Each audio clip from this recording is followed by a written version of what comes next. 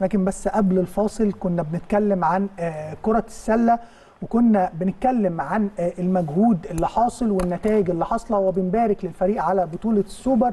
كنا بنتكلم عن آه، كابتن أحمد الجرحي أحد الجنود مش المجهولين ابدا المعلومين لجمهور النادي الأهلي. هو معانا على الهاتف عشان نبارك له بالبطولة. ونتكلم معاه عن فريق السلة. كابتن أحمد يعني منور في دايما في قناة النادي الأهلي. أستاذ محمد ازي حضرتك ازي حضرتك و أستاذ أحمد ازي حضرتك وحشني. ازيك يا كابتن أحمد؟ أخبارك. ويعني يمكن كنت أنا آسف بقى بنقل الحوار اللي, اللي تم بيني وبينك في مداخله قبل كده لما كلمتك عن الجيل ده وقلت إن الجيل ده ممكن يستغل الفرصة دي ويحقق عدد بطولات يتخطى بيهم بعض المنافسين. أنت كان ردك عليا إحنا تارجتنا إننا نحقق بالجيل ده عدد بطولات يخلينا رقم واحد داخل مصر وكمان في قارة أفريقيا من حيث البطولات القارية. طبعا يعني كلام حضرتك آه، سليم مليون في المية. أنا الأول بس نسيت أرحب بضيوف حضرتك. أكيد. آه، يعني بارك لكل جمهور النادي الأهلي على كأس السوبر امبارح. آه، الفرقة الفترة دي طبعا مش في أفضل مستوى ليها. يعني يمكن في دروب شوية ليه اسبابه مش عايزين نقول أسباب كتير عشان طبعا دي بتبقى قدام الناس أكنها يعني مبررات،. أو مبررات. آه. بس فعلا أنت قوام منتخب مصر ال 12 لاعب منه خمسة من النادي الأهلي وخمسة ثلاث شهور معسكرين في الصيف وراحوا لعبوا كأس عالم مع المنتخب مصر. وبعدين رجعوا راحوا معانا كأس عالم أندية وبعدين رجعوا راحوا معانا بطولة عربية وبعدين رجعوا راحوا معانا كأس السوبر. كل ده ما فيش في يعني في شهر. فطبعا كان مجهود كبير جدا على اللعيبة. والحمد لله الحمد لله إن أنت. وأنت عندك دروب كبير ومستواك مش مش اللي الناس متعودة عليه إن أنت تقدر تكسب المنافسين بتوعك سواء في البطوله العربيه الحمد لله كسبت الاتحاد الاتحاد أو كسبت الزمالك في السوبر فدي حاجة مبشرة وكويسة إن أنت عندك يعني لو في مستوى بيقل شوية إن في شخصية البطل موجودة في فريق النادي الأهلي يمكن يا كابتن اللي حضرتك قلته هو تقريبا كنا بنتكلم فيه قبل ما حضرتك تكون موجود معانا وهي فكرة إن جمهور النادي الأهلي يعني أنتوا عودتوه على حاجة مختلفة في كرة السلة وانتوا اديتوه قناعة تامة ان فريق آه، آه، سلة النادي الأهلي مش بس بيقدم مستويات جيدة لا ده هو دايما فارق عن المنافسين. يمكن كان في حالة من القلق في الفترة الأخيرة حضرتك اتكلمت في أسباب آه، بعض الأسباب ليها ثم حصلت الثقة. أنا عايز حضرتك تكلمنا عن الفوز امبارح وتكلمنا في التفاصيل اللي حولت اللي حضرتك كنت بتقوله وهو التراجع اللي في المستوى اللي كان لمسه الجمهور لحالة الفوز امبارح والقدرة على تحقيق اللقب، إيه اللي حصل في الفترة دي اللي هي بعد آه، البطولة طبعا آه، الماضية لحد ما لعبنا آه، مباراة السوبر، كان إيه التحضير؟ كان إيه الكلام مع اللاعبين؟ ثم الفترة الجاية حضرتك شايف إيه؟ أكيد زي ما حضرتك بتقول إحنا البطولة العربية دايما بناخدها في أول الموسم هي بطولة وبطولة رسمية وبنحب إن إحنا نروح ننافس عليها ونكسبها كسبناها مرة خسرنا في ال final مرة آه، مرة طلعنا من دور قبل النهائي. البطوله العربية عندنا في ال basketball مختلفة عن باقي الألعاب بطولة عنيفة جدا. مم. آه، بتجمع أحسن فرق موجودة في أفريقيا وفي آسيا مع بعض وال basket هو يعني منافسته واسعة كبيرة. يعني غير ممكن ال handball أو ال volley مثلا بنلاقي المنافسة أكتر أهلي زمالك حتى على المستوى الأفريقي. صحيح. لكن إحنا في ال basket الدنيا مختلفة تماما. آه، بوجود دول كتير جدا بتلعب basket. فطبعا بعد البطولة إحنا اتكلمنا إن إحنا بداية الموسم بتاعنا بالسوبر وإن إحنا آه مش في أفضل مستوياتنا بس إحنا لازم نعلي من مجهودنا نركز أكتر في الماتش عملنا آه، كذا video meeting عشان ندرس الفرقة واللعيبة الجديدة اللي دخلت على فرقة الزمالك السنة دي وال- والوضع اللي هم فيه.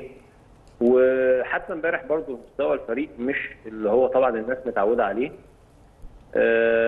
طبعا الزمالك كان متقدم من بداية المباراة بس الحمد لله إحنا عندنا من الخبرات اللي تقدر تحسم البطولة وإحنا دايما فريق آه، يهتم بالدفاع أكتر من النواحي الهجومية، النواحي الهجومية مهمة، النواحي الهجومية بتكسبك ماتشات، الدفاع دايما القوي كسبك بطولات.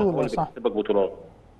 النقله كانت إزاي يا كابتن أحمد وأنت بتتكلم عن الدروب أثناء بقى المباراة وبنخسر الفترة الأولى ثم نهاية الشوط الأول 35 29 ثم بتدخل الفترة الثالثه وأيضا الزمالك بيتس... يعني بيظل محافظ على تقدمه وتيجي في الفترة الرابعة لاعبي النادي الأهلي. إيه اللي تم؟ إيه اللي حصل في الكواليس؟ إيه اللي اتقال مع اللاعبين؟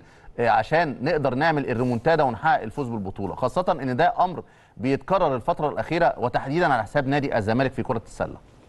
والله يا أبو حميد يعني يعني بص في نواحي نفسية قبل المباراه إحنا أول ما دخلنا الصالة لقينا جمهور النادي الأهلي اللي كان بيشجعنا في الكويت وفي قطر موجود في في البحرين. آه. ودي لأن إحنا أشخاص يعني شفناهم وسلموا علينا هناك وهنا وإحنا جايين من عشان نعوض وأنتوا لازم تعوضونا بالماتش ده. فده حملك مسؤولية كبيرة جدا وأنت داخل الماتش.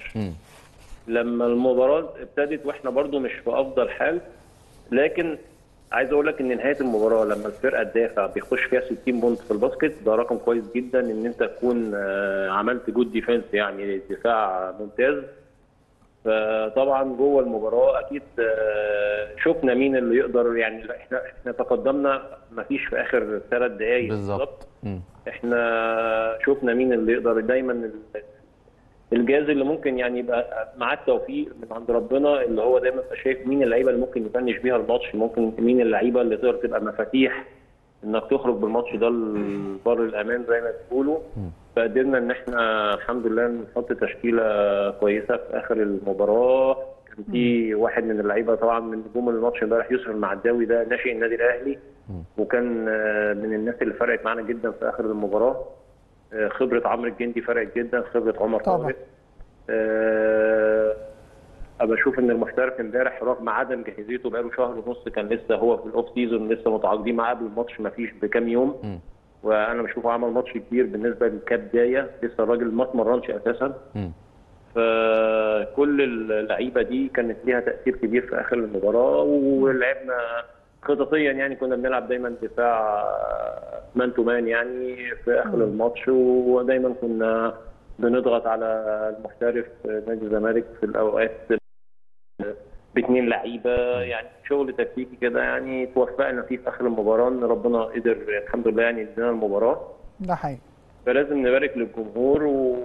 وأتمنى منهم إن هم ما يسمعوش لأي جماهير تانية يعني. شفت ناس بعد ما النادي الأهلي فقد الميدالية في كأس العالم للأندية مم. بتتريق على فرقة النادي الأهلي أو بتتكلم على النادي الأهلي. يعني فدي أصلا المفروض إن الجمهور يبقى فخور بيها أو اللعيبة إن أنت وصلت الناس إن هي بتتريق عليك وأنت بتلعب على برونزية العالم. ده ده حقيقي. حقيقي بس ده في كل اللعبات يا كابتن أحمد ده قدرنا يعني قدر النادي فأنت الأهلي. لازم تبقى مقدر أنت أنت مكانتك بقت فين وال... واللي بيتريق عليك ده فين؟ يعني انت بتلعب على ثالث العالم؟ طب انت فين؟ انت خدت بطولة افريقيا الحمد لله انت فين؟ الواحد ما بيحبش يتكلم بالاسلوب ده بس من كتر ما الواحد شاف الفترة الأخيرة دي حاجة بصراحة صعبة جدا. آه، يعني بقول للجمهور ركز مع فرقتك. فرقتك يعني إن شاء الله بإذن الله ماشية بخطى كويسة. دعمكم لينا. هو المكسب امبارح والله المكسب. سيبك بقى من كل الخططيا اللي أنا قلت لك ولعبنا man to man ونزلنا المعداوي وحصل إيه. جمهور النادي الاهلي اللي جاب المكسب امبارح في الملعب لأن فعلا من أول دقيقة لآخر دقيقة بيشجع وادى الفرقة طاقة كبيرة جدا. آه، نتمنى بقى نشوف الجماهير دي في مصر لأن الجمهور ده بيفرق معانا جدا. طبعا. و وبنقول على ماتش امبارح hard luck نادي الزمالك. أكيد. وطبعا إحنا قلنا امبارح إن إحنا مفيش حد إحنا كلنا بنمر بظروف صعبة الفترة الأخيرة دي بسبب ال- اللي بيحصل طبعا في غزة. بالتاكيد إحنا كلنا كنا ايد واحدة امبارح قبل الماتش وبعد الماتش في منافسه شريفة جوه الملعب. لكن آه، نتمنى من ربنا بقى إن يزيح الغمة دي عندنا كلنا و... يا إن رب شاء الله. ويعني يكون كده بإذن الله يعني نصر إن شاء الله الناس تعيش في سلام بإذن الله. إن شاء الله. كابتن أحمد يعني آه، مبروك البطولة وإن شاء الله مزيد من البطولات هذا الموسم وإن شاء الله يعني يعني نحقق كل البطولات القادمة وبالفعل الجهاز الفني بهذا الفريق بالعناصر اللي موجودة فيه تستحق إنها تحقق بطولات تعلو بالنادي الأهلي على قمة الأندية المصرية من حيث عدد البطولات وده منتظرينه بإذن الله وهيكون لينا مداخلة مع حضرتك إن شاء الله والنادي الأهلي بيكون الأكثر حصولا أو الأكثر تتويجا بالبطولات داخل. مصر إن شاء الله شكرا